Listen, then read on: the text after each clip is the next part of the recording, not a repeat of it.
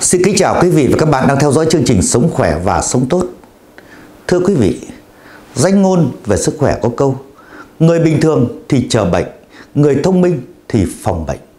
Sớm phát hiện bệnh tật sẽ khiến bạn kịp thời can thiệp, chữa trị dễ dàng và không tốn kém. Chương trình hôm nay sẽ phân tích những dấu hiệu bệnh điển hình, giúp bạn sớm chấn chỉnh lối sống, phòng tránh các bệnh nan y từ sớm. Video được chia làm 3 phần như sau. 1. Bốn mùi cơ thể cảnh báo bệnh nguy hiểm. 2. Thận đang kêu cứu nếu những điểm này ngày càng thâm đen. 3. Ba điểm trên người càng nóng, nguy cơ tiểu đường càng cao. Sau đây, xin mời quý vị lắng nghe nội dung đầu tiên.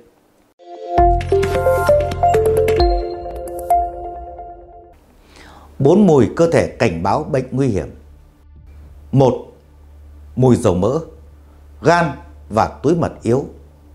Một số người sẽ có mùi dầu mỡ đặc trưng, đặc biệt là ở vùng nếp gấp của cơ thể như nách, nếp cổ, bẹn. Mùi này phản ánh gan và túi mật đang suy yếu, đến từ thói quen ăn dư thừa chất béo xấu và calo. Nếu bạn có thói quen ăn uống thông thường là thực phẩm chứa nhiều dầu mỡ, mỡ động vật, trên đi trên lại, chất béo xấu không thể đào thải ra khỏi cơ thể và khiến gan mật suy yếu, tạo nên mùi dầu mỡ, nhờn béo đặc trưng. 2. Mùi khét, tim và ruột non suy yếu. Khi cơ thể có mùi khét, nguyên nhân chính là do bạn thường xuyên ăn đồ nướng. Điều này sẽ làm tăng gánh nặng cho tim và ruột non. Ngoài ra, đồ nướng còn kích thích các gốc oxy hóa tự do phát triển, tăng nguy cơ biến đổi tế bào và gây ung thư. Nếu mùi khét trên cơ thể quá rõ rệt, đó là dấu hiệu bạn phải thay đổi thói quen nấu nướng từ chiên, xào, nướng sang các món hấp và luộc thanh đạm. 3. Mùi tanh Thông thường, mùi tanh chỉ ám vào cơ thể khi bạn chế biến hải sản. Tuy nhiên, khi nó bắt đầu trở thành mùi đặc trưng của cơ thể, đó có thể là dấu hiệu của việc ăn thừa sữa cũng như các chế phẩm từ sữa béo như phô mai, bơ động vật. Khi ta càng lớn tuổi, nhu cầu lấy canxi từ sữa sẽ giảm, nhưng khả năng đào thải chất béo bên trong sữa cũng chậm đi, tạo nên gánh nặng cho phổi và ruột già. Để cải thiện tình trạng này, bạn nên thêm các gia vị tăng cường trao đổi chất như gừng, tỏi, củ cải vào thức ăn, hạn chế chất béo động vật nói chung và sữa nói riêng, giảm gánh nặng cho ruột già. 4. Mùi hôi khai, thận và bàng quan lâm nguy. Mùi hôi khai này còn được gọi là mùi ure, giống nước tiểu đặc hoặc phân ure. Nó thường xuất hiện trong hơi thở, dịch tiết của người bị bệnh thận. Mùi càng nồng nặc, mức độ bệnh càng nặng. Trong đó có bệnh suy thận cấp 4 là phổ biến nhất.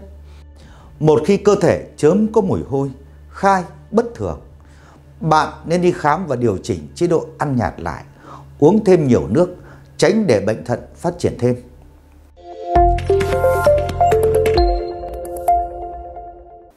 Chuyển sang phần chia sẻ tiếp theo. Thận đang kêu cứu nếu những điểm này ngày càng thâm đen. Bên cạnh hơi thở và dịch tiết thì thận còn quy định không ít sắc tố trên da của chúng ta. Nguyên do là thận chịu trách nhiệm lọc máu, thận khỏe thì máu tốt, da rẻ hồng hào. Trái lại thì thận yếu, máu độc, màu da cũng thâm sạm đi. Trên cơ thể có những điểm tuyệt đối không để thâm đen. Nếu cứ sạm theo thời gian thì chứng tỏ thận có vấn đề. Một, quầng mắt. Mắt là vùng da rất nhạy cảm và mỏng. Vì thế, mọi biến đổi bất thường trong cơ thể đều có thể biểu hiện rõ rệt ở mắt.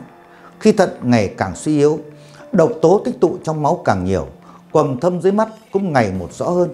Nếu đi kèm các triệu chứng như mắt sưng, mắt mở, đau nhức, có lẹo mắt tái phát thì bệnh thận ngày càng trở nặng, cần đi khám tổng quát ngay.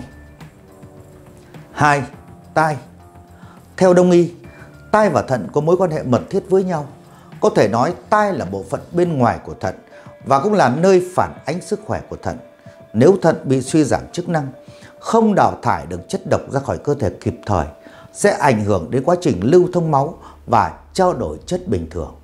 máu quanh tai cũng sẽ bị ảnh hưởng khiến tai có hiện tượng thâm đen, đặc biệt là ở những nếp gấp sau tai. Nếu hiện tượng này ngày càng nghiêm trọng, chứng tỏ các vấn đề liên quan đến thận tương đối nguy hiểm. 3. Lòng bàn chân Tương tự như tai, lòng bàn chân được xem là tấm gương phản ánh của sức khỏe thận. Trên chân có hàng chục huyệt vị kết nối trực tiếp với thận. Nếu thận làm việc tốt, máu được bơm đều trên cơ thể, tạo nên màu hồng nhuận ở bàn chân.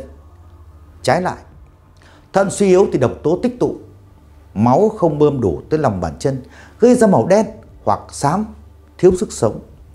Bằng việc quan sát những vùng cơ thể này, bạn hoàn toàn có thể đánh giá mức độ khỏe mạnh của thận. Từ đó, điều chỉnh lối sống và dinh dưỡng cho phù hợp.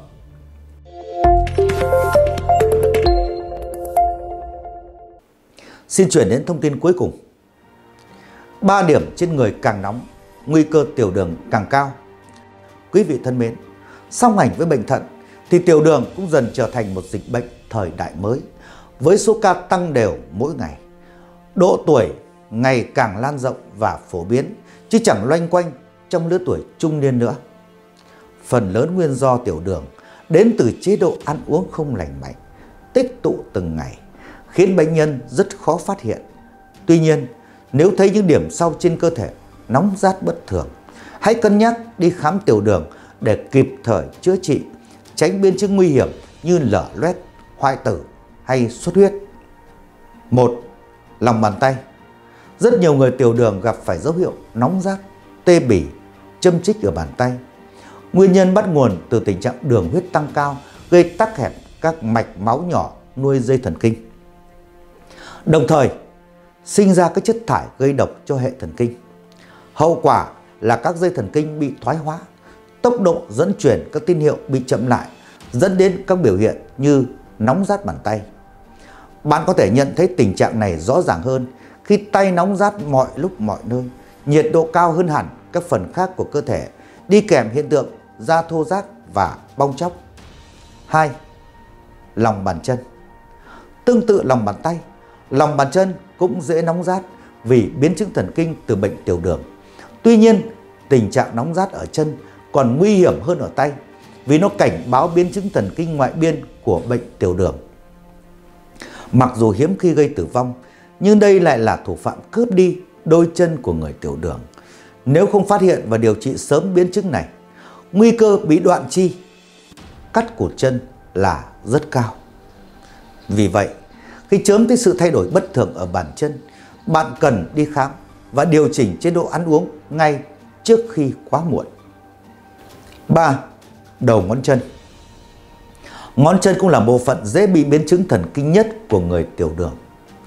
Tuy nhiên, ngón chân nhỏ và ít ai để ý nên các dấu hiệu này thường bị bỏ qua khi đường huyết cao, sinh ra các chất độc hại, hình thành quá trình stress, oxy hóa, tấn công vào các tế bào thần kinh thì ngón chân sẽ chịu tổn thương đầu tiên vì nó rất nhiều dây thần kinh mẫn cảm. Lúc này, cảm giác nóng rát sẽ đi kèm với châm chích, ngứa ngáy dưới da, đặc biệt là ở ngón chân cái. Nếu bạn không bị dị ứng hay côn trùng đốt mà tình trạng này cứ kéo dài dai dẳng, rất có thể bạn đã bị tiểu đường. Cần đi thăm khám ngay, tránh để bệnh nặng thêm, dẫn đến tình trạng hoại tử đáng tiếc. Thưa quý vị và các bạn, phòng bệnh hơn chữa bệnh là câu châm ngôn lưu truyền bao đời nay và nó vẫn đúng trong mọi thời đại. Đợi đến lúc phải đi khám thận hay tiểu đường thì bệnh tình đã phát tác rõ rệt, chữa trị vô cùng tốn kém và mệt mỏi.